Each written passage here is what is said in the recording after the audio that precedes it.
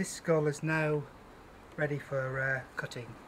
We're going to be using a, a jig, a roe skull jig, which you can either get from Bushwear or Attleborough accessories, or even even buy them on eBay now. So they're readily available and they make the job a lot easier. Alternatively, you can do it by eye and use an ordinary carpentry saw uh, and judge it by eye. But I find to get a real professional job, jig is the way to go. Place the skull like so into the jig.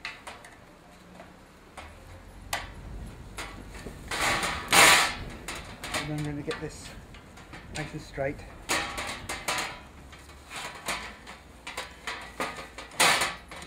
so. And tighten up.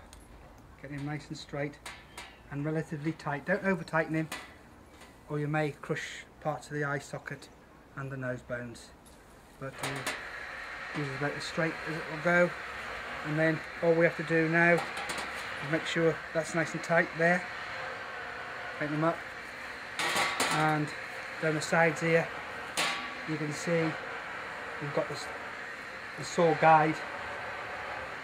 Just make sure the saw guide is even each side, it's not. So what we do is just loosen off these little fly nuts. Just make sure that we line up where we want to cut. Down below the eye socket, missing the teeth and down through the length of the nose. That one's in the right position. I'll just line up this side, make sure it's in the right position. And to make saw, we just bring our little saw and we just check. Down through, make sure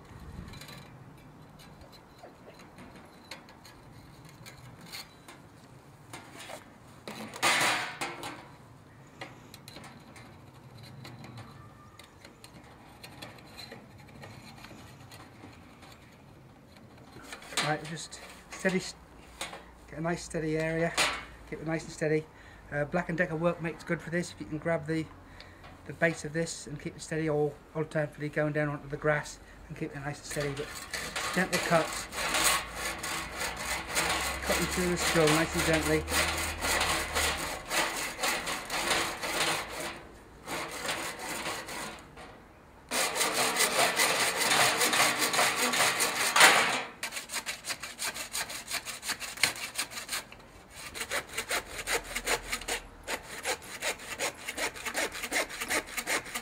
nice straight cut and we're ready almost ready for boiling now giving the brain from the uh, brain cavity of the skull.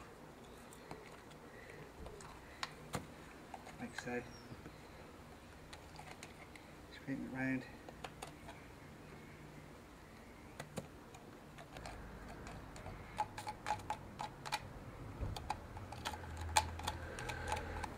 That's it. All the brain removed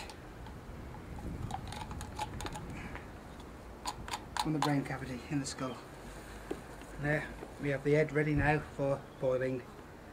Have a cooker now and uh, what I'm actually doing is boiling a kettle of water first just to speed up the process. Uh, you don't have to, just put it on the gas and uh, just wait till it boils normally but I find if you boil a kettle and another kettle afterwards and then bring it to the right level it speeds the process up a lot quicker. Also if your wife's not stalker friendly like my wife is, uh, do it out in the garden.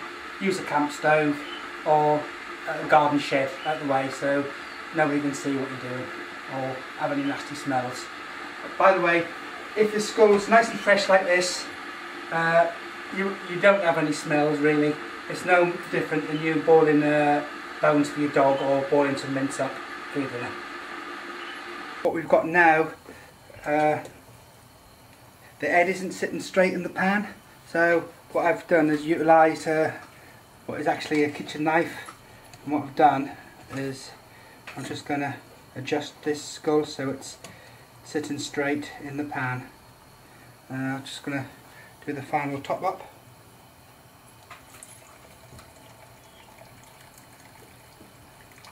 What we're aiming to do is just bring the level of the water the level of the water just below the coronets. At this stage you can add some uh, washing soda crystals about two teaspoons or a tablespoonful or some people use dishwasher tablets uh, half a dishwasher tablet or a little bit of biological soap powder uh, will do the trick. But it's not necessary. Ordinary boiling water will do the, just the same. So uh, remember to keep this as the water evaporates just keep topping it up to the right level don't let the water go down too uh, too low or else the uh, top of the pedicles, the meat around the top of the pedicles won't cook and you'll find it difficult to uh, free it all. Dad, Two minutes. Hello. This head's been boiling now for about 20 minutes. Uh, this is a young animal, so about 20 minutes is around about enough. The way to test if it's uh, ready or not is to take a section of the head and if it's readily scraped away like so, you're about ready to go with the scraping process. The scraping process, this head's been in for about 20 minutes or so. You can see we have scraped it away just to check whether it's ready to scrape. So it's just a matter of now is it's just scraping all the skin away from this, this the surface of the skull. Getting around the eye sockets and such like can be a bit fiddly. Just make sure you get it right. A blunt knife like so is the tool to use for this.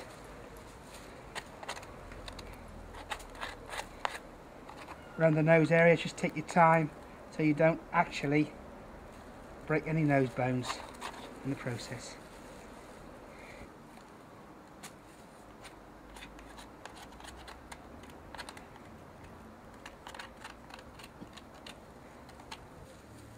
Just take your time, just make sure you get all the meat off the bone, off the skull.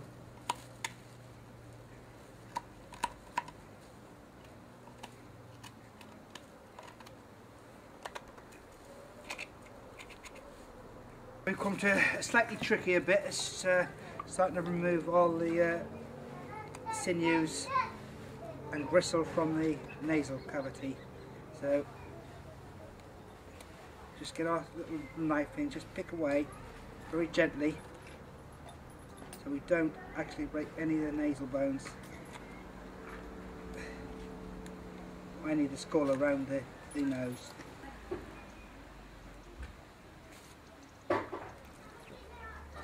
Poke around inside, just pulling it out as much as you can. Just getting the needle tissue out from the skull, from the top here. Just pull it all free. See it all coming out. We need to remove all this. Because at the day it's all fat and gristle. And we need to be removed. If you find on a hot day like this, just uh, you got your warm water from the uh, pan here, just have a little, just dip it in there for a little while just uh, loosen the skin up again. Because in this weather it's drying quite quickly and you'll find it hard to move. And uh, I think uh, this is going to do us.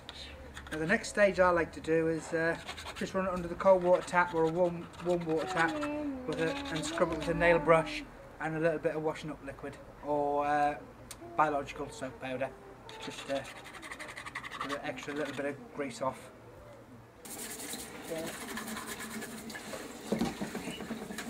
Just applying a bit of washing washing up powder, it just takes that extra little bit of grease in all the little nooks and crannies.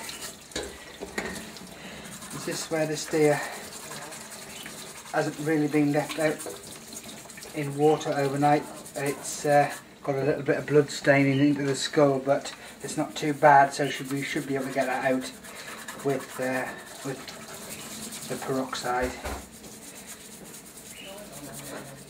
but if it's going to be left for any more than a, uh, a day or a day or so I would leave it in water because as, as happens this is what you see on here there's actually blood getting into the bone and, and it can be a bit difficult to get out at times.